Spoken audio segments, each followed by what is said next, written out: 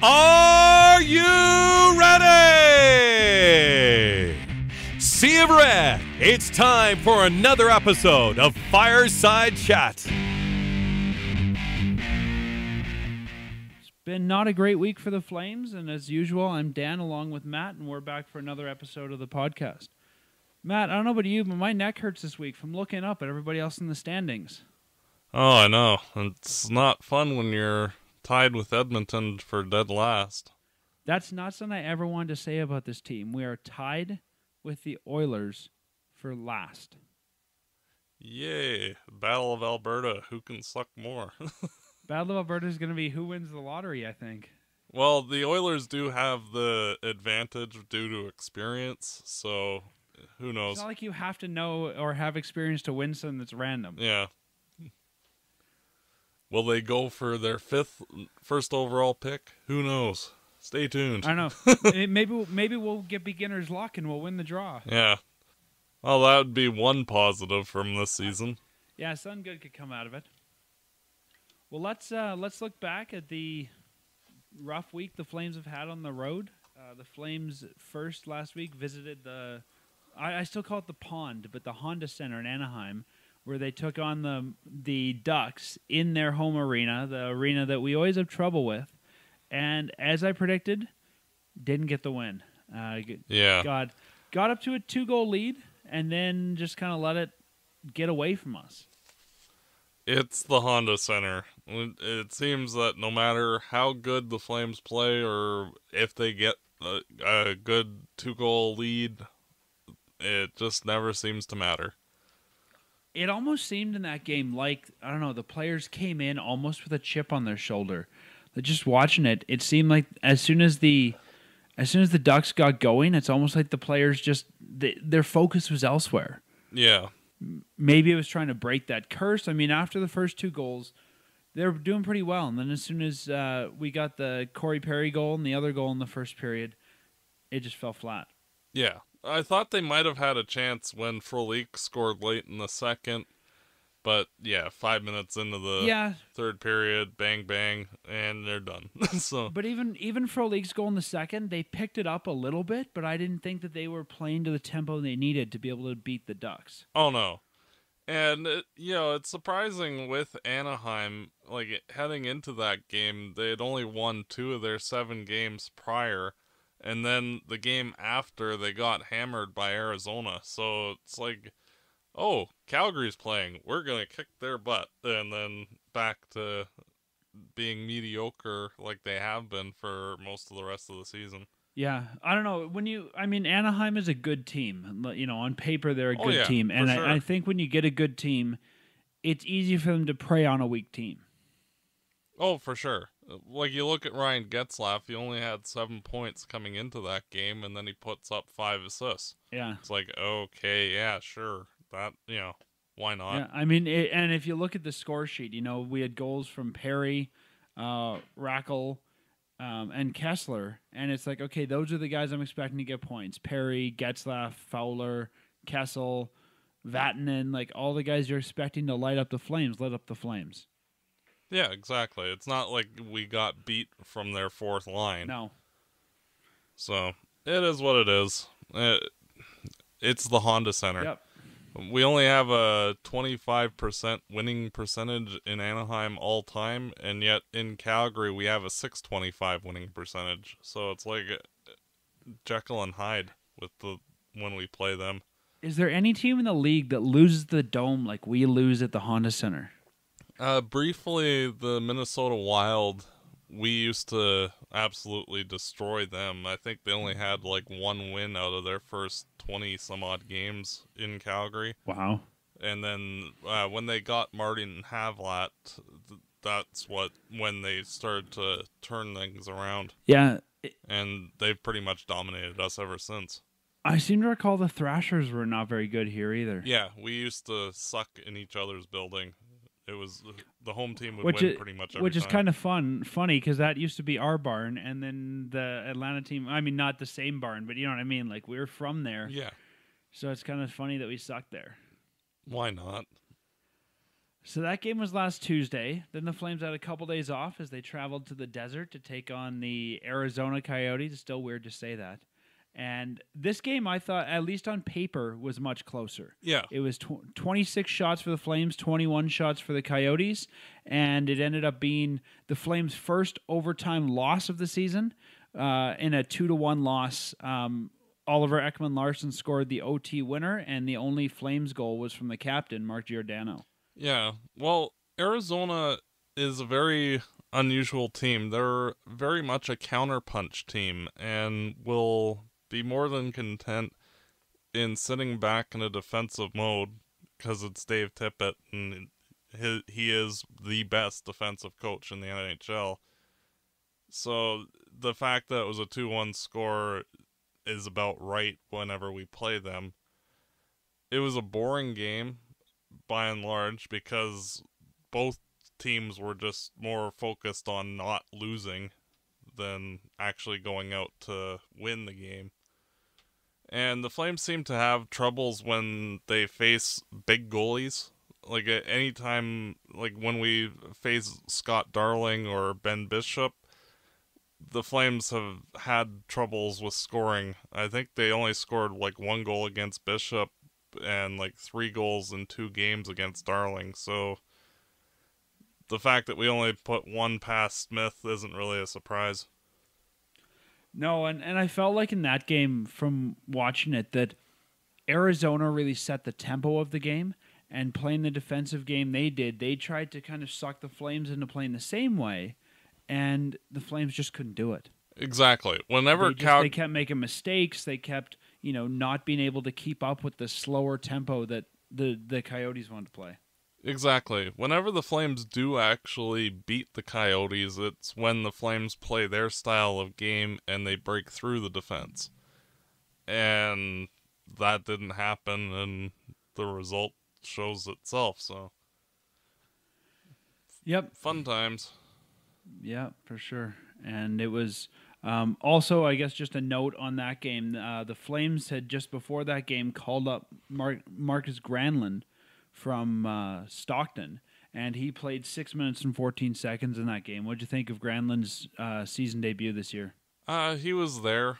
Uh, It, it's hard to get your feet going when you're only playing six minutes, and that really doesn't matter which player you are. It, it's hard. Like even uh, Deryk Engelland said last season that like once he got bumped up into the top four after Giordano went down with injury, he felt that it was a lot easier to play because he was playing 20 minutes instead of like 12. So it's all about getting comfortable and a rhythm going and he Yeah, and I think the energy around you too. Like Granlund looked like the rest of the team. He just sort of fell into the same mode everyone else was in. exactly and uh, like i don't blame him for having just an okay game it, it's difficult anytime you're in a situation like the flames currently are And then the next night, the Flames uh, went on the road again for the second game of a back to back. They went to San Jose to take on the Sharks. And in that game, uh, we saw Markus Granlund play again get more minutes. He played 13 minutes in that game. And we also saw the return of Jonas Hiller after, I think, what, 15 starts in a row for Ramo? yeah something like that so let's start. the ottawa game back at in the end of October. Yeah, so pretty much the whole month he's been playing. hmm So let's uh, let's start from the net out. What'd you think of Hiller's return? I thought he was just as shaky as he was before he got hurt. A couple of the goals he should have stopped. Others he didn't wouldn't have had a very good chance to. It it is what it is. Uh, he was rusty. The whole team kind of played poorly. Uh, It was pretty much a game where uh, you saw a, a contending elite team versus a team that's at, in 30th place and Yep. you know the one team just walked all over the other and the, And it looked like it all night. exactly and the flames did tally a couple of late goals but Yeah, we also had we had some pretty good face-off success that game too. I had in my notes, but I mean that only counts for anything if you're able to convert. exactly and Granlund did score his first goal of the season, and along with Ferland, Yeah, that was good to see. it would be nice to see Granlund play with some skill players because he does have a lot of skill. It's just it's difficult when you're playing on the fourth line or on the third line with more defensively oriented players to generate a lot of offense. And I think that if Granlund is going to stick in the NHL full time, he'll need to be able to play with a guy like Bennett or Hudler or Frolik or somebody that can both receive a pass, make a pass, all that kind of stuff. And I mean, we've talked about it earlier this season, but the confusing thing to me is the always earn, never gain mentality of uh, last year. And it, it seems like he had earned more time, and some of these guys haven't. So I don't know why he's not being promoted over other guys, but that's something that we'll have to figure out Well, if the and see how that goes going yeah, forward. like I think with him scoring a goal and looking like one of the better players on the Flames last game. And game, playing some of the, the biggest uh, on ice minutes, too. that he'll likely get more of a chance, especially with the Flames wanting to find some combination that will generate some offense. I think it- with him showing something that he'll get at least a couple of games opportunity at some point to show whether he's a legit top six forward or just the same somewhat inconsistent player that we've seen Yeah, I mean, in that San Jose game, uh, Granlund had one goal uh, for one point, three shots on net, one hit, 71% success rate in the faceoff circle for 13 minutes and two seconds on the ice. So he played a pretty big role in that game, and I think if nothing else, you at least reward him in the Dallas game and give him a bigger, you know, a bigger spot, even if it's just the third line for one night to see what he can do. Exactly. And worst case scenario is he struggles. Like Mason Raymond got an opportunity against Chicago with to play with Gaudreau and Monahan. It didn't work out after that one game. So give Granlund a shot in the top six or the top nine with some quality line mates and see if he can continue to have some success. At this point, it, the season's more or less done in terms of the playoffs. So the focus should start to transition away from okay, we need to get these two points to win to make the playoffs and instead focusing on the development of the play young players coming up like Granlund to see what you have a and b what can be done with them to get them to improve. For sure, and I think you you made a good point there about where we're sitting in the standings. I mean, right now we're tied for um, last place in the league at 18 points with Edmonton. Um, we're sitting at three regulation wins. We have the worst goaltending, the worst special teams, and we've only won one. Uh, we've only won one game by two goals or more. This is not the Flames team that we saw last year by any stretch of the imagination. And last week we were saying, you know what, if the Flames do well on this road trip, they could pull up their socks and be back in wild card contention. We're last, and we're over the the one quarter mark. We're over that twenty game mark, and I at this point think we need to shift the focus on this season. We need to have a new strategy for going forward. And as you were saying with Granlund, I think maybe it's time to give guys like Granlund a bigger shot. Even if you're playing them above where you think they should be organizationally, I would be giving him a shot over somebody perhaps like Hudler, unless Hudler's playing a ton better, because Hudler's probably out of here at the end of the year. And Granlund's part of our young core. I'd even say that in the next little bit here, we should be pulling Ortio back up and giving him some starts once he gets his legs under him. I think it's now time to realize the season's probably got away from us and start using it as a time to develop young players.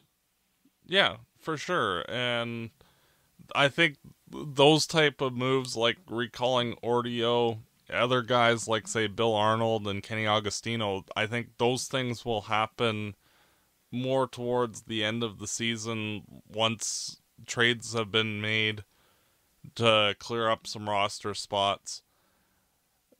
But the focus definitely does need to change. And realistically, in NHL history by American Thanksgiving, only one team has ever come like being outside of the playoffs at that point by more than 6 points. Only one team has ever made the playoffs at that rate. And even if we had beat Anaheim, we still would have been 7 points back. Yeah. So, you know, it ideally you know, you always like to think that oh, we still have a chance, but when you have, you know, how many seasons of hockey history and only one has ever done that, it's not likely going to happen. And No, and I think if you look at this team too and how streaky they are, this is not this is not going to be the team to defy No. the rule book. and the and we did our we did our sort of define of the of the stats last year in a rebuilding year, making it to the round two. Lightning doesn't Yeah, strike twice. And the team that did do it was a Minnesota Wild team that was a very good team that just had a really bad start and got behind the eight, ball, but they were a really dynamite team. And as optimistic as I'd like to be, the Flames have too many holes in the team to say that they're a dynamite team. In a couple of years, yeah, but right now, no. Uh, and and I think that's a good point too. I think you know again as we've talked about, we're in the middle of a rebuild. Last year we got lucky; the hockey god shone down on us. But this team was not constructed last year, nor I would argue coming in this year to be a playoff team. It's constructed as a good team in the middle of a rebuild. And you know, if you look at this year, I mean, you know, we've had weeks where the Flames won nothing, and we've had weeks where this team's been good. And when you're getting a streaky performance like that, there's a reason we're on the outside looking up at everybody else. Exactly. Consistency is the most difficult thing for any young team and organization to learn. And it, last year, pretty much everything went perfectly. And And let's be honest, we had a lot of good luck last year. oh yeah, like how many times did we come back in the last minute of the third period? Comebacks in the third period.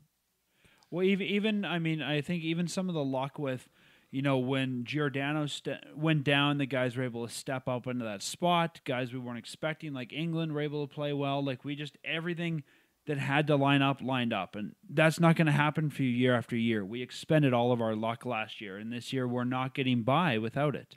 Yeah. The way I always like to look at it is if your team has a couple of if maybes in terms of player performance, like if they do well, then this will happen, that's fine. But the Flames had so many if maybes on the team that, you know, there's too many that would have to go the right way for the Flames to have repeated their success.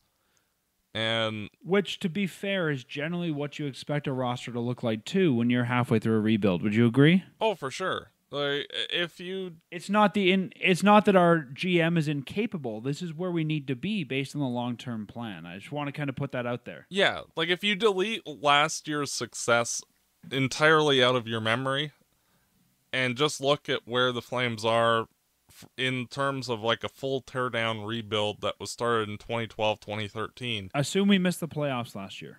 Yeah, we finished in the bottom 5. Like we should have which we were expecting to. We were we were expecting to be in that yeah. McDavid So say that happened. Well, this season is right on track for where this team is. We still have too many dollars tied up in players that aren't going to be here long term. We have too many young players that are still trying to establish themselves long term. It it it is what it is. Like it, it, there's lots of ups and downs. If the Flames do end up finishing in the bottom 5, they're going to get another good player in the draft.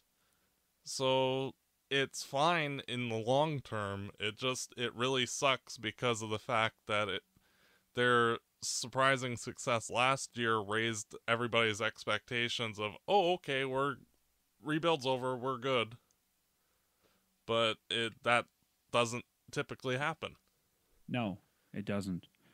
And I, again, I think you know you pointed it out. We have a lot of good young talent. I think we have some guys that I, I'd point to a guy like Josh Jooris, who I think last year created a role for himself. This year, I think that he's just another piece on this team. And I think he needs to spend some time in reinventing himself and showing us why he can stick around. Because at this point, I don't know about you, but I look at Jooris as just another guy on this roster, and I'd be willing to move him at this point. Oh, for sure. If he- You know, last year he looked like some, something a little more special. This year he just looks like another random bottom six guy. exactly, like if that was the piece that got a more important trade finished, fine. Uh, you know, it, you wouldn't go out of your way to deal with him, but if But I think if you're looking at the farm, and let's say even if it wasn't necessarily to get another piece done, but let's say I'm saying I got to bring, you know, somebody up from the farm who's just tearing it up down there. I'd maybe look at Jooris as the piece if I had to move one, or you know, to do that, the guy that maybe I'd look at. yeah, that that's reasonable. Like if you could get say like a fourth round pick for Jooris, Exactly. eh, Yeah, just give me a give me a contract spot, give me a roster spot. I got some. Nobody's really shown it yet, but let's say somebody like Bill Arnold tears it up for the rest of the year, um, you know, and you say, hey, we got to bring him up. Maybe Jooris is the expendable piece there. Yeah.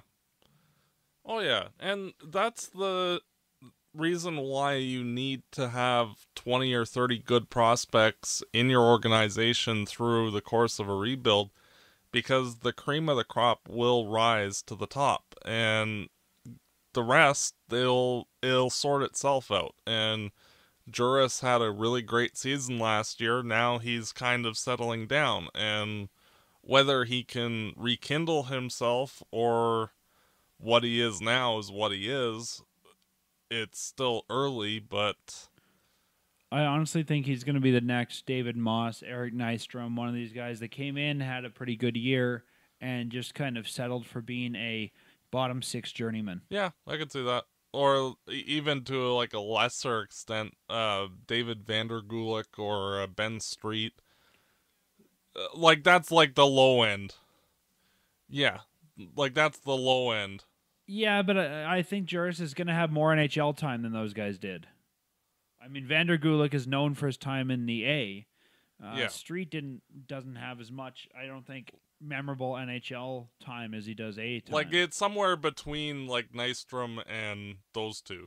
And I, I think that with Jooris, yeah, I guess I just kind of compared him to Nystrom because I think Jooris is going to stay in the NHL like Nystrom did. He didn't really, you know, get sent back up and down after he left the Flames. Um, but I think he's going to be one of those guys that some team needs a bottom six guy. He's a free agent, or you know they'll just trade a six round pick for him. Like I think he we'll see this guy almost like a, a Jamie Lundmark might be a good comparison. Not so much play style wise, but career wise, where Lundmark played for like everybody, and he's always being just thrown around as somebody need an extra player. Yeah, I could see that. I mean, even we had Lundmark for a while, Yeah, and he sort of A couple of times. yeah, he went between the A, went to the NHL, but you never looked at him and said, "Wow, this is a guy that's you know a star." But he was a solid enough guy that he could you know play 50 games for you. I think uh, I'm just looking at his stats here. The most he ever played was. Uh, you know, 40 games in the NHL, and he was a guy that you could say, okay, we this guy's a good injury fill-in. He's a good 40 game guy on our roster. Yeah. So I think that there's going to be some pressure on some of those guys to really show what their role in the organization is going to be going forward. Oh, for sure. And a lot of that will sort itself out, especially as the Flames transition away from, like, okay, we're a playoff team and battling for that, and okay, now we're back into rebuild mode.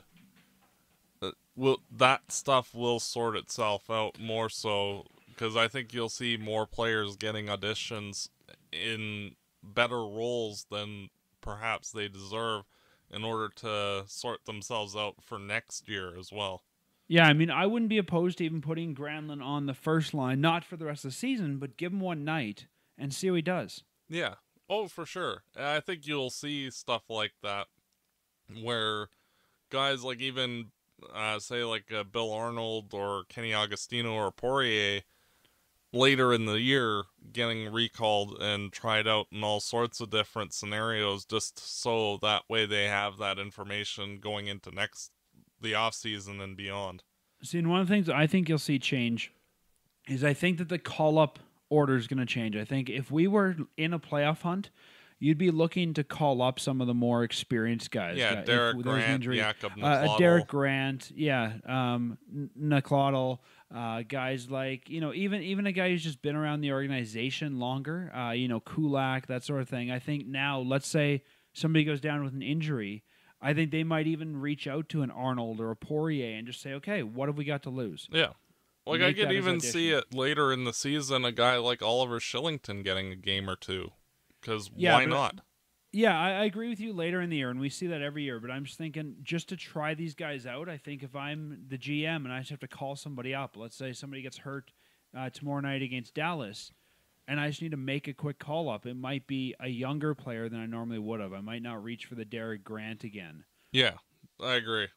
or it might be you know someone who's you know maybe I give a maybe I call up Klimchuk or Freddie Hamilton or somebody who we don't know as much about at the NHL level, and just say, okay, kid, you know you got three games here. Exactly. do what you can and and it becomes not as much of a pressure cooker for that kid because you're not trying to you know help this team get a playoff spot it's you know go out there do what you can yeah, because like whatever if you happens screw up, happens oh well. Uh, Yeah. You know, it's not the end of the world. that's it so it's like you know what go out there show us what you got play your game don't try to conform to somebody else's game or play the game you think we need to make the playoffs show us your game whatever happens we'll take it Exactly. And So it'll i think you'll see some of that sooner rather than later Yeah, and we'll see a lot more of like evaluation period, especially because of you need to know what you have in your stable so that way like especially like on the trade front or free agent signings like if you know that say like Poirier you can rely on him being like a third line winger next year then you don't need to go get a third line winger so stuff like that. It, the next few months will sort that kind of stuff out, so that way you know roughly who's going to be where and all that kind of stuff. I think the biggest thing, and it's probably hard for them to do, but it seems like management and the coaching staff, you listen to the interviews and the public face they put on, are still sort of in denial. They still feel like we can do this. And I think it's going to take them, maybe not publicly saying it, but I think there's going to be a shift that we'll see during the games of, okay, we're, we're playing this for development now. Yeah, You know, let's let's put Ortio in. Let's you know give Granlund more minutes. Let's you know not give a guy like Raymond as many minutes. Maybe even give Frolik more minutes. You know, like I think we haven't seen that shift in mentality yet. They still seem like they're playing to win. And I'm not saying we want to tank by any Oh means. no. Don't get me No. wrong. I wanna. I still want to try and win games, but I think the sh- the focus becomes give the young players and the vets who are working the hardest more minutes and let them develop. And we're not seeing that shift in mentality yet. No. And that will come as we get into January, February and like I I think that the Flames will pull a few trades sooner than later just due to the fact that uh, most of the guys that they are UFA they're not exactly expensive players. Like even Hudler at 4 million dollars, that's not like if the season's already halfway done, you can e- more easily eat two million dollars in your cap structure than you can say like a six million dollar contract, which would be three at that point. So Yeah, and I think too, some of those guys like Hudlers, if we wait till the deadline, it'd be better for us because I think we'll get a bidding war. But I can see some teams coming to us and saying, "Hey, we just want to get this deal done now, so we can get a reasonable price." Well, the the one thing that I'm more concerned about uh, is a repeat of the Camilleri situation because there are a few good name forwards out there, and like I don't want to have the everybody looking at those guys and not being able to trade Hudler because Yeah, you know, and having the Flames continue Well, to have Hudler on the team past. yeah, and I think I think I agree with you. I think Hudler, uh, Jones, um, Russell, and the two goalies, which are the guys who are UFAs this year, they all have to be traded for something or re-signed. None of them can walk away like Cammy did. Yeah, And you know, I mean, we remember. You remember back then, I was livid, and I still am that we let Cammy walk for nothing. yeah, But I think I mean, then we were still trying to somewhat make a postseason run, and I think there was a little bit more of a okay, well, let's get a decent price. And I remember you and I even talked to Burke about it, and he said he wanted to set a standard that the Flames don't let anybody go for cheap. I think when you're in the bottom five, the rules change. If someone makes you an offer, especially the deadline, you take it. Yeah. You know, it might not be the first round you want, but okay, you're willing to give me a third? Sure, I'd rather do that than get nothing. Yeah.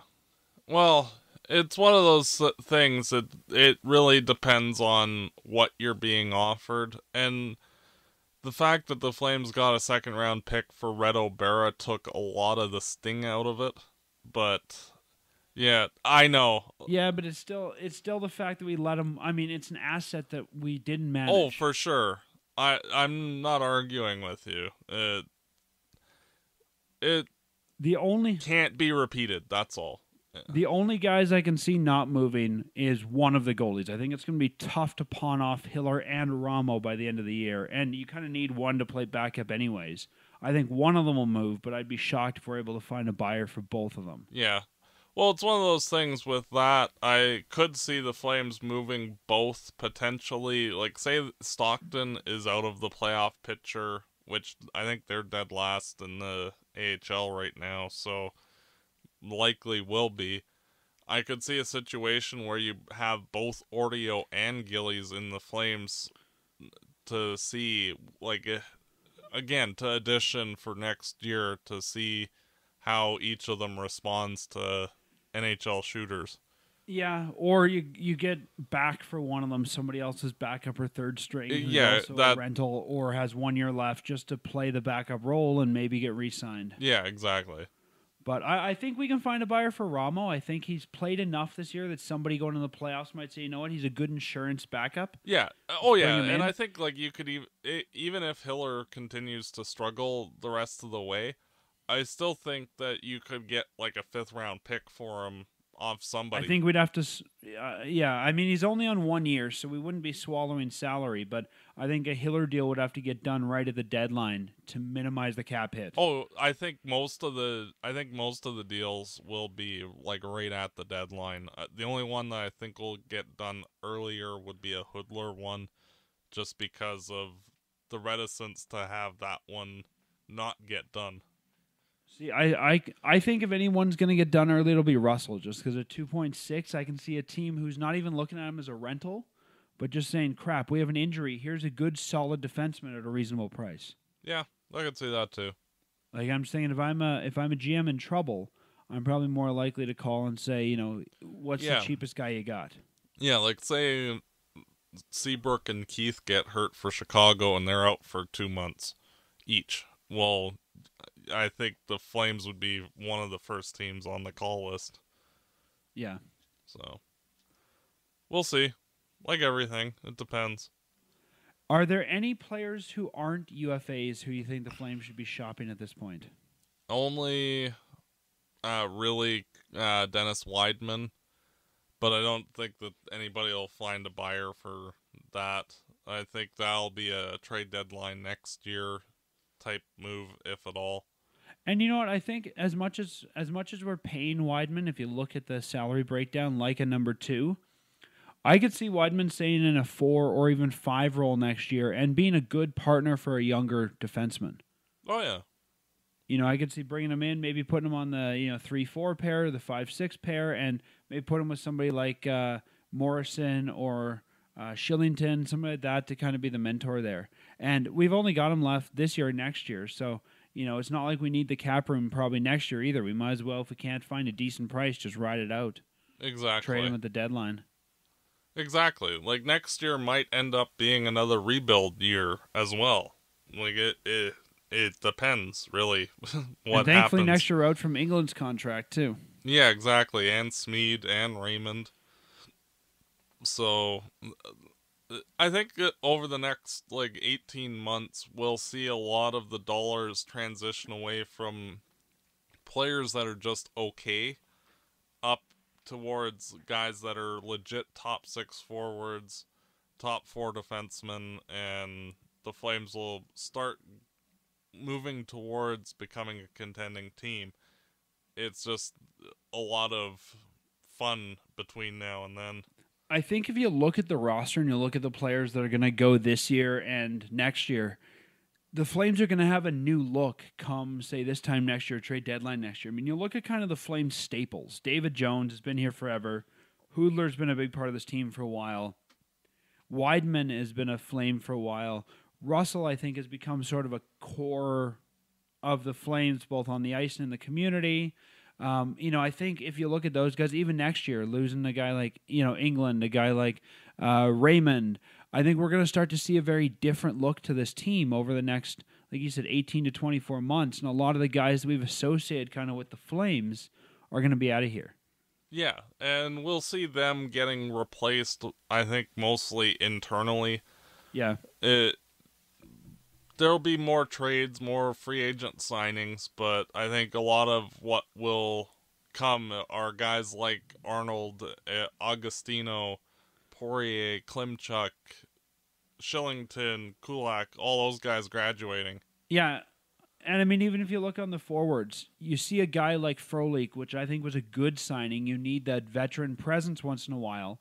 We got a good price for him, and if they can get a good price, they'll probably bring in a vet. But you're right, we need to start, I think, replacing these guys sort of de facto of looking and saying, okay, when you know Engelland leaves, who in our system is going to replace him? And if we don't have that guy, get that guy in now because we're at the point where we need to start graduating more young guys through the system. Exactly. And I think that was part of the Flames' success last year is that if you want a spot, take it.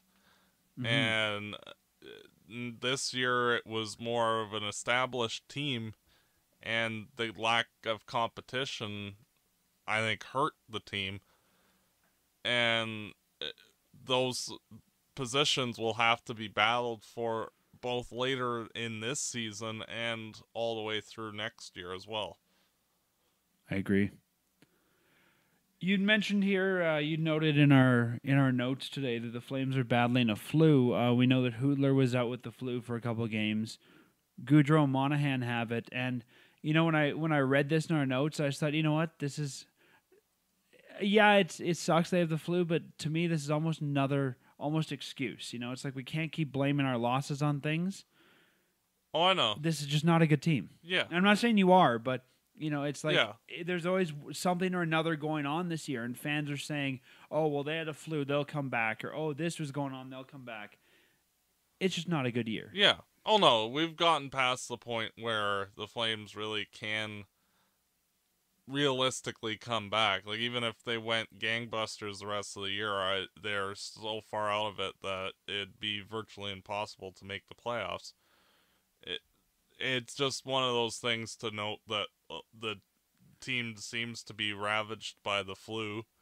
Like I know uh, back of all things though that we've seen over the last couple years, the flu's the one I'd rather have. I mean, what was it a couple years ago that the Penguins had? Oh, uh, mumps. Their whole dressing, yeah, their whole dressing room had the mumps or something. Yeah, a couple other teams got it as well. So yeah. So of all things, I'd rather we're just sick with the flu. Yeah.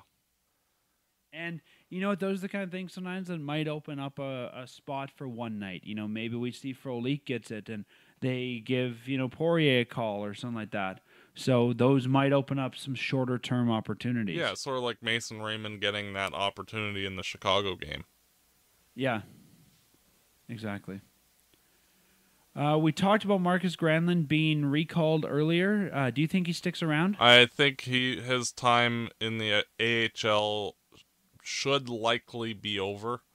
I don't see any plausible reason why you would send him back. Uh, I think No. with how the Flames are set up the rest of the way, I- don't see any benefit to him being an AHL player. He's waiver, not waiver exempt next year, so he would would have to clear if he doesn't make the team out of preseason. I think you have to give him the the remaining sixty games, see what he's got, and if he can perform that up to a top nine forward level, then you don't really need to worry about him moving forward. So, but you have to give him the opportunity to earn that spot. Yeah, I think as we talked about earlier, I still believe that he wasn't sent down because he wasn't good enough. I think he was sent down purely for a roster number reason. I just think they ran out of spots for forwards. and that's why he was sent to the A. There's nothing more in my eyes he can accomplish playing at the AHL level. He needs to be either playing at the NHL level or eh, here or moving on somebody who will put him at the NHL level. But I don't think this guy is a career AHLer. I think he's got an NHL future somewhere. Yeah, so do I. And uh, to steal our show title from a couple weeks ago, he needs to put up or shut up. And the Flames need to give him the opportunity to show what he's got. Well, I was going to say, not just him. I think the Flames need to give him the opportunity to excel as well. And we've seen him in the past be streaky. And, you know, I think this is a year really where they can spend some more time developing him. And it's not so much about, okay, just go out there and win, as we talked about earlier. Maybe this is the year where they say, you know, we're going to sit you for a couple games so you can watch what these guys are doing, but then come back and play well. And um, I I think that he's a lot like I felt Max Reinhart was last year, where he's got to show he's either here or he's not. I think he's definitely got more potential than Reinhart. I don't want to you know put them in the same category that way, but I think just like Reinhart last year, it was either you bring him up or you move the asset. Yeah, and and I think I hope Granlund's here. I think Granlund. I don't think is ever going to be a top six guy regularly for the Flames, but I think he can be a great um, you know, seven, eight, nine, third line winger for this team if he gets a little bit of time to develop. Yeah. For me, like the player that I've always kind of kept in mind, not necessarily in terms of play, but like where I think he slots in is a guy like uh, Niklas Hagman. Uh, somebody that can get 30, 40 points, be a middle six guy, plays on the penalty kill, kind of does a little bit of everything. And so you're saying he's also someone that's going to get pawned off on somebody in a terrible trade down the road like Hagman? Possibly. But that'll be like 10 years from now. Because Hagman got dumped on us, what, in the Phaneuf deal, right? Yeah, exactly. He, he, was one of the spare parts that we got. Yeah. Well, he didn't play bad. It, he was misused by Sutter because yeah, did, and Sutter didn't know that he actually played on the penalty kill like why you wouldn't know that is yeah, and then story, he got waived, and nobody would take him off waivers. And then yeah, we had to dump him to Anaheim. Him. Yeah, they had the chance to take him for free, and they didn't. Yeah, so, so yeah, but that general type of like middle six kind of does a little bit of everything type of guy. Yeah, I can see that, and I think you know you look at a guy like Hagman. He played for a long time because um, he was that kind of guy. I'd even I, I'd even compare him within our roster to almost a younger um, Frolik. I think Frolik has got some of that in him too, where he can play a lot of different roles. He can play any position, um, and he's sort of your utility guy. And I can see yeah, I agree. Granlund developing into that role of sort of this guy who can play either wing. He can play a little bit of center. If we need him to be a scorer, he can do that. If we need him to be more of a two-way forward, he can do that too. I think he might sort of be that plugger, that guy who just fills the role, whatever it needs to be. Yeah, I agree. I don't think he's there um, yet, but I think we can develop him that way. Yeah, I can totally see that. So yeah, I, th- I think it's good that he's here, and I'm I'm hoping he's not going to get sent down. I think for me, no. if I was the coach, it would take a lot to send him down. I would need that roster spot for somebody else. I think right now there's other guys I would move out of here to keep Granlund on the roster at this point. Yeah, like uh, honestly, I would rather see them send Raymond and Bollig down before I would see like them to send Granlund, just because in terms of the long term future, Granlund's a more important piece. So you have to see what he is, where those other two guys, you know what they are. Yeah, I agree, and and I think that if you look at Raymond, yeah, we've already proven this guy's no good. Um, he's not the guy we want here. He's not the guy that deserves that spot.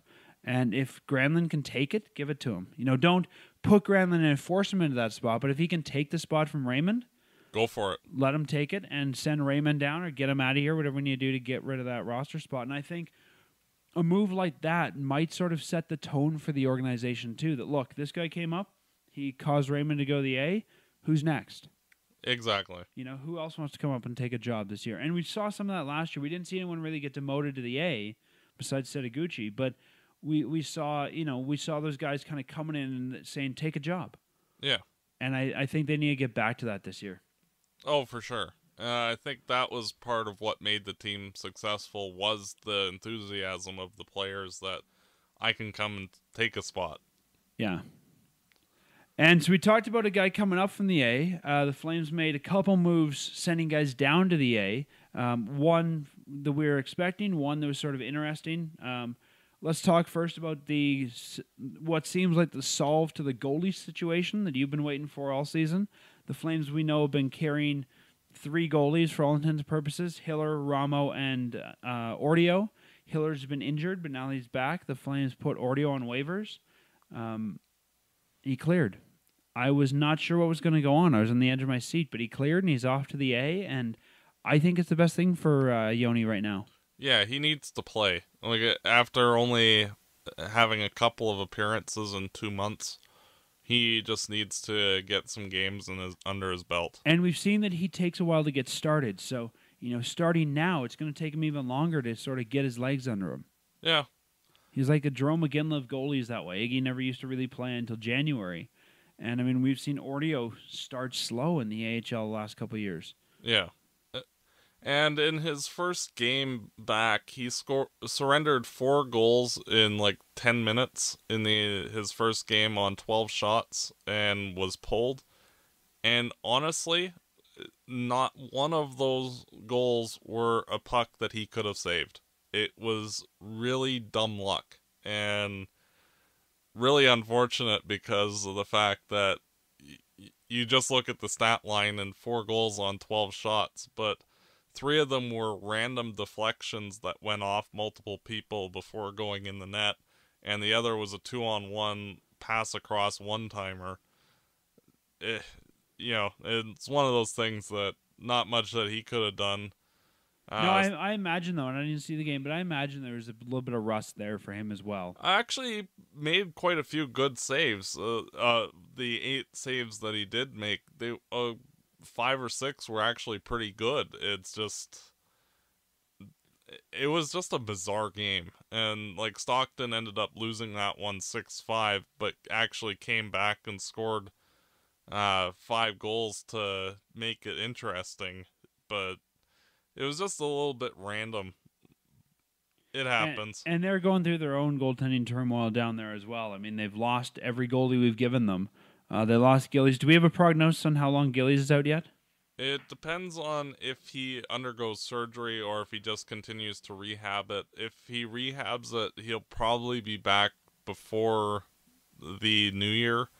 If he undergoes surgery, he's probably done for most of the remainder of the season, if not the entire rest of the regular season. And what about Poulin? Uh, he's out for a month and a half. So so I mean, January, really, middle of January ish. So when Ortio got pulled, who did they put in? Simpson? Ken Simpson, yeah, and he didn't play too badly. The first goal he gave up was kind of a stinker, but that kid's had quite a rocky season. I mean, he started the AHL season thinking he was going to be the backup, and then what happens? Ramo goes down there and he gets sent to the ECHL. Then he comes back up and got sent down again, and now he's getting some minutes because we ran out of goalies for a while. So yeah, interesting season for Simpson. Yeah, and then the Flame or Stockton Heat played their second game of a back to back and beat Bakersfield three to two. Ortio played a lot better in that game. Didn't surrender a lot of goals. Uh, it was actually a he the second goal he surrendered with a minute left when it was six on four. So overall, he played a lot better. Good. And he's looking more like himself. Like he, even in the first game, he looked more like himself. It's just some really random stuff happening that eh, not much you can do. You know, I'd say keep him down there, keep him there till end of December, end of January. Let him get his legs under him and get some confidence, and then bring him up and give him the rest of the flame starts. Honestly, if uh, the Flames can find a market for either of the goaltenders between now and the trade deadline, then make Ortio your starter. Yeah, once you pull the trigger on one of them, Ortio's up for the remainder of the season as the starter where he gets like 90% of the starts. Yeah. yeah, know I agree with you. I just don't think that we're going to see that deal made by the end of the calendar year. No. It, I think honestly uh, the earliest it would be is like the beginning of February unless like somebody loses their starter and they well, have yeah. a marginal backup. Yeah, you'd have to lose your starter, or um, you know the even even if this even if it's not a marginal backup, but if the starter's out for a while, like if someone loses their starter all year, I can see you wanting, especially if you're a playoff team, better insurance than your AHL guy. Yeah. So it's okay. We got it's almost like New York last year where they um, Henrik Lundqvist went out. They brought in what Talbot was their backup. Talbot, yeah. Talbot uh, brought him and he looked good. But what if Talbot goes out? You know, that's where I can almost see somebody saying, "Okay, let's bring Ramo in or Hiller in to mop up for this kid." Yeah, exactly. So we'll likely see that over the next couple of months, but uh, you just have to get through the next two months in order to get to that point. And then the other AHL demotion we saw this week that I thought was kind of interesting, because I learned something on this one. Laddie Smid was demoted to the AHL in a conditioning stint, and I was under the impression that you could only demote a guy for a conditioning stint before they played an NHL game after returning from a long-term injury. But yeah, but apparently, if you're out, like you haven't played over an extended period of time, you can. So that's Well, where. from what I understand, you can assign anybody at any time, pending the player agrees. But the league reserves the right to veto it if they think you're trying to do any sort of cap. Um, you know, fun stuff. Yeah. yeah, i you're trying to circumvent the salary cap. So uh, I thought it made sense to send Laddie down. He only played one game and they got called back up. And I don't think you can do a conditioning stint more than once. You can't say, okay, he got sent down for conditioning. We need him back. But now he's going back down for conditioning again. Unless he doesn't play for another like three weeks, and then maybe you could, but, But he'd, you'd probably have to have an IR condition on that, I'd imagine, possibly. putting him on the injury reserve. But for those that don't know, a conditioning stint, he did not have to clear waivers. He still uh, his Flames property. He doesn't have to clear waivers, but he does take up a roster spot for the Flames. So if we were right at that 23 man uh, spot, he still takes one. And he can only be down there for 14 games, or sorry, 14 calendar days um, when you send a guy down. So that's as long as they can. So you can't be like, oh, he's going to need the rest of the year for conditioning. You can yeah, only send him it- down for two which weeks. is likely two or three, four games at the most. Yeah, and and if you look at Stockton, I think they played what they played like three games, and then they have off for like a week. So I thought, what an odd time to send them down. Yeah, he played well uh, in that one game. He played like Laddie Smid, and that's it. Like nothing. Based on what I saw there, and I, I watched that game actually, and based on what we've seen of him in the NHL level, um, do you think the Flames should just send him to the A? No, I think he he has enough talent where he probably should be playing in the NHL. It's just when you have six defensemen that are playing like NHL defensemen, it's hard to justify one guy over another. Like I think the Flames it wouldn't be a bad thing if they sat guys like and rotated in a guy like having Smid rotate in for players. But I, I think you'll see that more as the season goes on. Uh, like if you're in playoff mode, you want your best six period. But now that uh, as the team transitions into rebuild mode, I think you can rest players a little bit more liberally. See, and that's where I agree with you in principle, but I would execute it differently. I agree that we should rotate defensemen out, but if I'm looking at that, I'm saying, why rotate a guy like Smid in? Why not rotate a guy like Kulak into that position? So I'm almost thinking Smid seems like the odd man. Send him to the AHL. Um, I think he'd clear waivers no problem. Send him to the AHL. Let him play with some of the guys down there, like Morrison, like Well, Shillington. Yeah, I agree with you. It's just if you want to, if you did that, you would basically surrender any value he has as an asset. And like I think that you could still get something for Smid either at this deadline or next. So like, you would be forfeiting that, I think, if you just demoted him right to the AHL. Like I understand like why you would want to. It's just you have to do the cost Yeah. benefit analysis of uh, do we want to give up a potential fourth or fifth round pick just to See, and, I, and I'm not sure what you'd be able to get because I think next year he's going to be the odd man out again, especially if you start looking at some of these guys come up from the farm. I think if I'm looking at what this defense might look like, I think either him or Engelland is the odd man out again next Yeah. year. So I'm almost thinking, you know what? Maybe I, I still think if he's in the A, you could get something. You might not get as much, but he might be a piece you toss in somewhere. Yeah. He might be still worth a fourth to a team that needs a defenseman. I'm not sure you really change. I mean, we're not going to get a second round pick for a Laddie Smid. No, it would be Um, like a fourth or a fifth at most. Yeah. I don't know that you change his value that much. But I'm just kind of thinking that, you know what, if we're just trying to cycle a defenseman in, I'd rather give a guy like Kulak another shake um, than, okay, we got another veteran guy whose contract's almost over playing that role. Yeah, I agree. It it's one of those situations where uh, the Flames will need to figure out like getting rid of a defenseman or two just to free up space because of having too many players. Like uh, realistically, for how he's playing in the A, Jakub Nakladal should not be there. Like he he is playing at at the same level of Smid or better down there.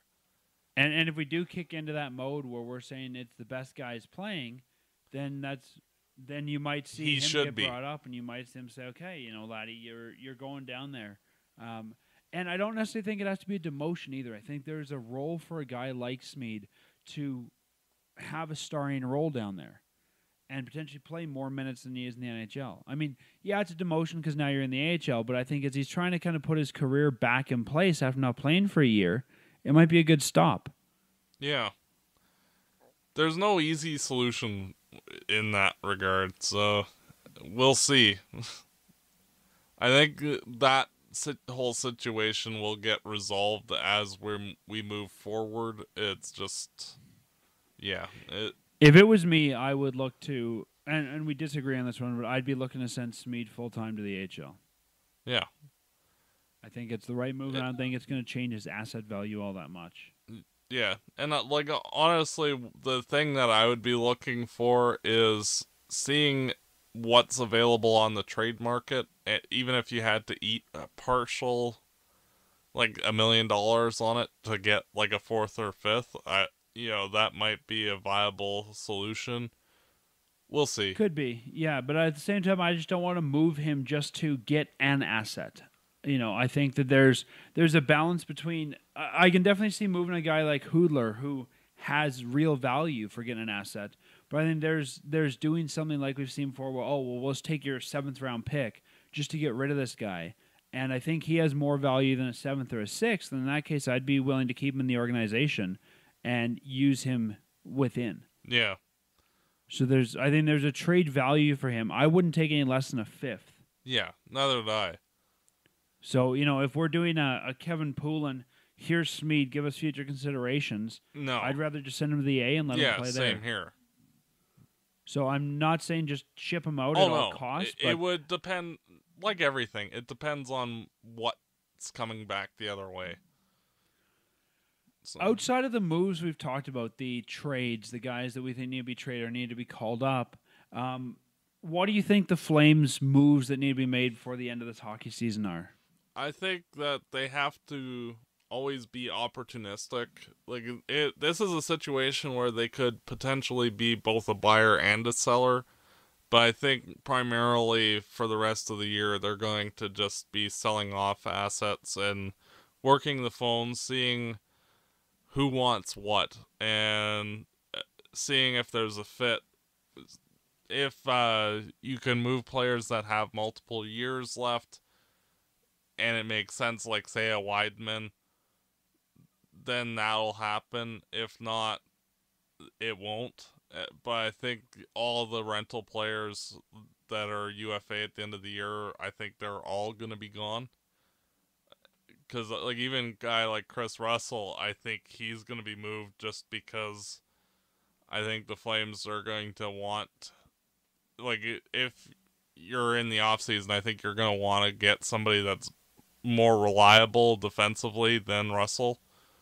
And I think those guys are more readily available in the off season. So I think Well, I don't think we want to pay what Russell's going to want either. no, So He's good at two six. He's not worth four if you look at the way the salary structure breaks. no, down. and especially for how he's played this season, like he's not even. I don't even think he's been worth the two six really. So, because like, well, I mean, he, signed a big. I mean, when he came to us, he was almost a nobody. He was like a five six guy in St. Louis.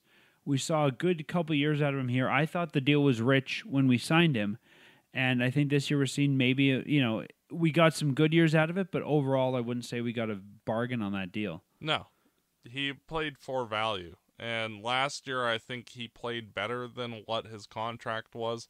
This year, I think he's at or a little less than what it is.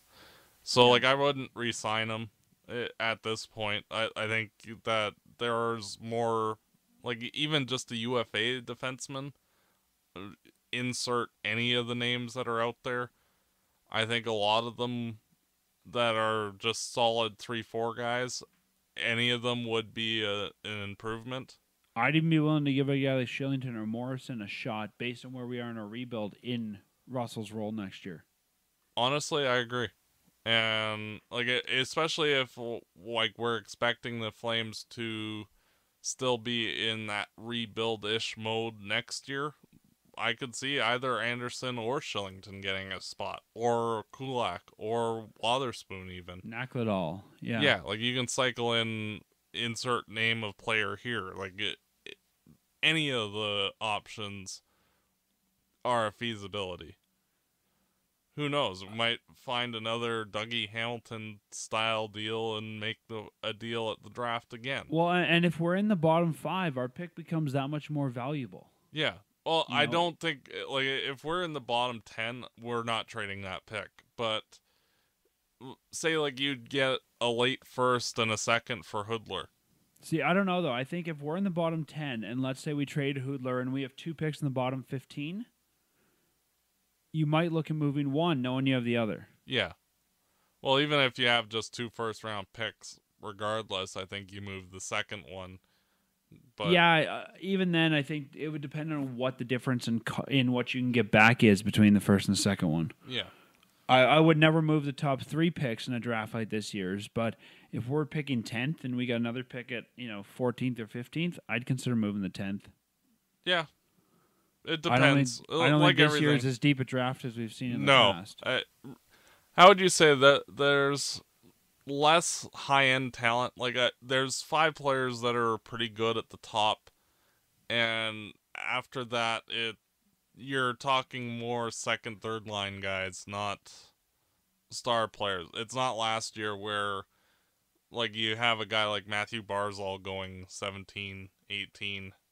Like it, uh, a guy like him probably is like sixth or seventh this year. So it is what it is. So we'll yeah, see. I just think that some of those are the reasons why we might see a little bit more of teams moving mid round, mid first round picks than we've seen in the past. Yeah, for sure. And I think you'll, you'll see a lot more shedding of picks, period, because uh, this draft, there's not as nearly a, as much of a high end. There's a lot of secondary players like uh, that extend into the second round and beyond, but there's no high level guys like once you get out of the top five. You're not going to be able to get Kylington and Andersson again in the No. second round. Uh, honestly, both those guys would probably be like 12 to 15 this year. So it is what it is. Last year was just an abnormally awesome draft. It is what it is. If the Flames finish bottom five this year, do you look at a different coach? No. You still think Hartley's the guy to go with? Yeah, he's done a fairly good job of developing the forwards. If the Flames say we're at this juncture next year and we're in 30th again, then perhaps maybe. But the Flames are still rebuilding and things do screw up. This season is a screw up. If this team starts to stagnate though and like we're not seeing any forward progress from any of our prospects and we're just you know spinning our wheels like Edmonton then you look to find somebody else that can put the wheels in motion to get the team where they need to be. But for right now, the I don't see anybody that's on the free agent market that would be an upgrade. No, and, and I, I agree with you. I think that Hartley was brought in as the rebuilding coach. This is what we expected. I mean, you know, if we would have said when he got hired by Feaster, this guy's going to win a Jack Adams within three years, people would have laughed at us. Um, yeah, I, I think everybody would have been asking, "What are you smoking?" Yeah, you know, so, and we'd have nobody listening to us anymore. So, I, I think yeah, last year, just like a lot of things we said earlier, we got lucky. I would give him one more year. I think if we end up seeing the same terrible performance from the team next year, maybe you look at hiring somebody else. Maybe you look at promoting from within. But I think you have to at least give him a year to say, okay, this year was where we expected to be. Let's see how we turn it around. Yeah. If there's no forward progress, then you pull the trigger and get somebody else.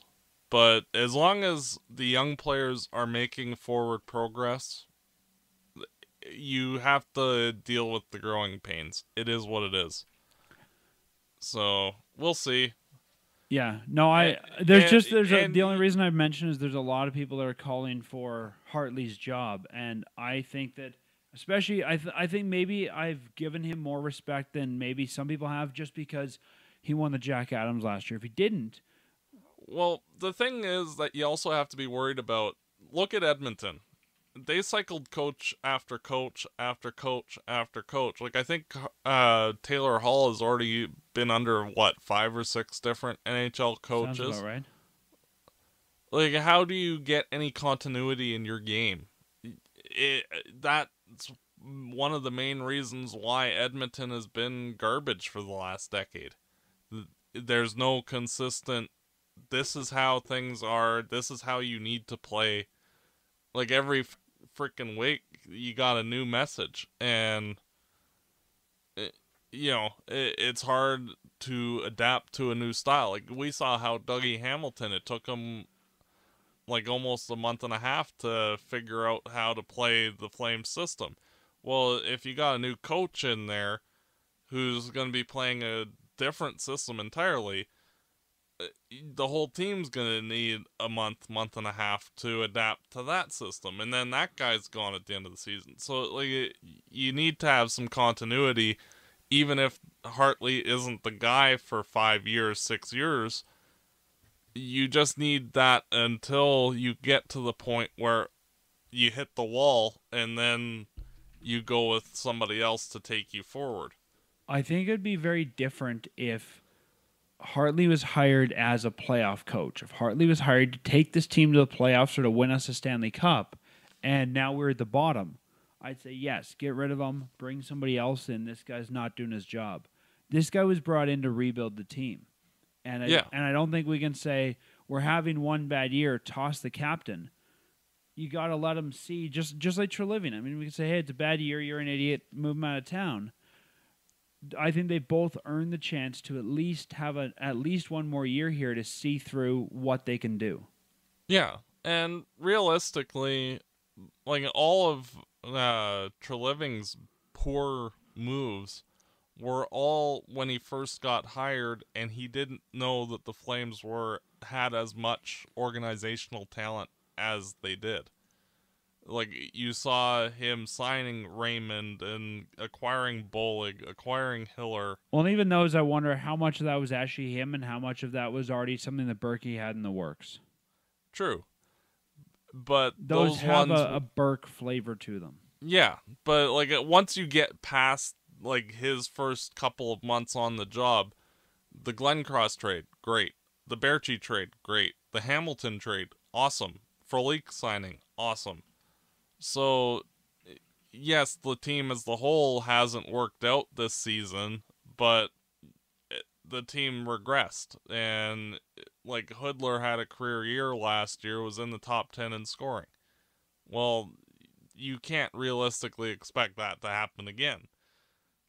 You know, Lance Bouma scored 16 goals, which was the most since he had since he was like 15 years old. Well, yeah, that happens once in a while, but you can't expect that to him to be a 15, 16 goal scorer every year. So Yeah, it is what it is. And y- you know, as much as one Yeah. wants to search for like who to blame for it, sometimes the team just screws up and you can't really blame it on anybody. Eh, and I know I sound a bit of an apologist there, but you have to see give them enough like they've earned enough capital to allow them to try and figure out how to fix it. Yeah. And, And if they can't, then you change them. But till then, you leave it. and I think what you were saying earlier about um, about Edmonton is a good sort of sort of a good way to to think about it. Um, you know, Edmonton, like you said, kept every time the going got tough, we we canned somebody, we got rid of somebody, and I think that um, I'm not saying the Flames should do that, but I'm thinking once we're out of the rebuild, that's a very different thing. Is now we might look and say, Bob's not the guy to take us to the playoffs, perhaps. Maybe he is, maybe he isn't, but that's a, a call for the Flames to make. But I just think this is the job we brought him in for. We have to let him keep trying it. Yep. And once you get to that bridge, you cross it. And if Hartley's the guy, he's the guy. If he's not, you find who's the best available candidate and you go with that guy. Yeah, I'm also not convinced, based on where we are now, that that candidate is. I, I would like to see us promote from within, but I'm not convinced that that guy's here. No. And realistically, like even if you're looking at the free agent market, like the only guy that's even uh, comparable would be Carlyle. And at that rate, like you're not really improving the team or making it worse. It's just a lateral move. hmm And okay, you can do that, but Well, I'm not sure Carlyle's the guy we want either. I mean, looking No. at where this needs to go, I'm not sure there's a Randy Carlyle team. no. Like a year or two from now, sure.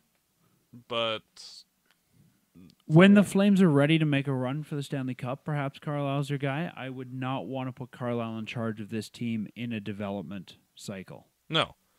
It it's sort of like uh, with Tortorella uh, going to Columbus. That made sense because they needed somebody to yell at the team. Yeah. But it it just depends on where you are. Like that's why like I thought he might have been a good fit for Edmonton because needing that team to snap out of it. But yeah. No, you're right. you know the flames right now they're you need them to develop and hartley has been a good developmental coach for players in colorado and last season in calgary so he's the best for that available guy for that role I agree. so we'll see it's fun Well, Matt, I think we've talked about all of the uh, the poor f- week for the Flames we can. Why don't we look ahead and uh, get ourselves out of here?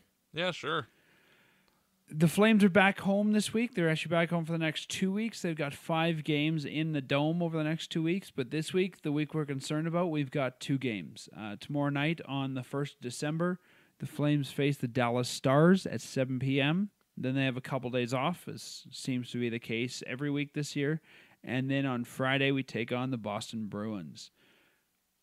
Um, looking at last week before we predict this week, last week we both did terrible. Uh, we had six points in the table, three games. We both thought they'd win at least one game. I thought that shouldn't be too hard, should it? One of three. Uh, I thought they'd beat the Phoenix Coyotes. You thought they'd beat the San Jose Sharks. We got skunked. We got zero games last week. So you and I still remain. Uh, you've got two points in the year. I've got one point in our in our little game. How do you think we're gonna do with the two games this week, Matt? Well, last week I thought I was being pessimistic with saying two points, and we ended up doing worse than that. So I'm gonna I be thought we should be able to get one of three. Is that so hard to ask? yeah. Well, I'm gonna be even more pessimistic. I'm going with a donut. I think we're gonna... gonna- drop both Dallas and Boston. You're not gonna go for a negative number. If it was possible, I might. We could score all the goals on both nets. Four on our net, five on their, or five on our net, four on their net. That would be It- an interesting game. if you for, if you forfeit a game, that still counts as a loss, or is that a negative? Can yeah. they take points away? I I don't know. At this rate, I don't know if you could do any worse than what the Flames have been this season. Well, the so- stats show that we're the worst team in the league, right? It's the Yep. race for respectability with Edmonton at this point. So you're going with the big donut this week. Yeah. And the only other donut we had was two weeks ago. I predicted a donut. That was the week that we had the New Jersey game. Um, that was when we had what New Jersey and Chicago, Chicago. and we ended up winning both. Yep. So hopefully we'll have the same luck. Uh, I'm I'm not going to be as pessimistic as you are. Both of these teams are going to be tough, but I think after the terrible week the Flames have had, I mean it, it's so weird because you look at the season, we win two against tough teams. We beat Philadelphia, we beat uh, Pittsburgh, we lose two. Then we get our momentum going a little bit. We beat New Jersey, we beat Chicago, and then we lose three. So it almost seems like after we lose a couple, we're bound for another win. So I'm going to say that we beat Boston on Friday night. Okay. I think I think also because that's a I don't know, we we don't play Boston very often being an East team and I don't know that they're going to be playing as hard. I think we're at the point where a lot of teams are going to start underestimating us. Yeah. I think you're also at the point where you're going to start to see a lot of backups facing us. Yeah, I think we're gonna like sixty percent of the games, seventy percent of the games, the rest of the way, we're gonna be seeing the backups. which is fine because we don't even have a starter, so it all works out in the end. Yeah. So I'm gonna go for two points. I'm gonna say that we're gonna be Boston. You're going for the big donut. You think we'll be sitting here uh, seventh of December talking next and be talking about another week of no wins for the Flames. Yep. If we go five losses in a row, this is bad news, my friend. Yeah. Well, it would mean that the season really is over. You can put, you know, the nails in the coffin if it isn't already. And yeah, another whole different separate conversation of how this team is going to dig out of this mess moving forward. Yeah. It'll be fun. We'll yeah, see. We'll we'll see how it goes. Um, we'll see how see how things progress from here on in. But I'm not I'm not too confident. Yeah.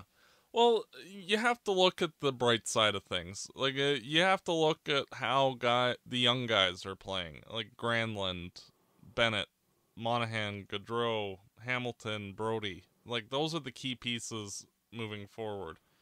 And as long as you, you're seeing good, positive things from those guys, then even if the Flames do end up being a bottom five team, at least you have something to hang your hat on. Oh, for sure. And we've talked about that a lot. Is this is you know this is a time to look at development going forward. But as a Flames fan, there's only so much development I want to sit down on a Friday night and watch. True. You know, I want to see these guys develop. I just don't know if I want to spend my time and energy to watch it, I know. Well, especially with 60 more games to go. it is what it is. Unfortunately, you know, like ideally we'd be talking about how we're up with San Jose and LA for first in the division, but it is what it is. Well, Matt, let's hope that we do well this week, and I will talk to you next week. Yep. Thanks for listening, everybody. Have a good week. Bye.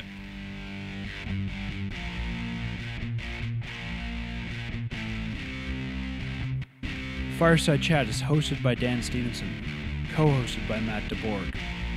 This episode produced and edited by Peter Marino. Fireside Chat is licensed under Creative Commons license. For full license details, visit firesidechat.ca.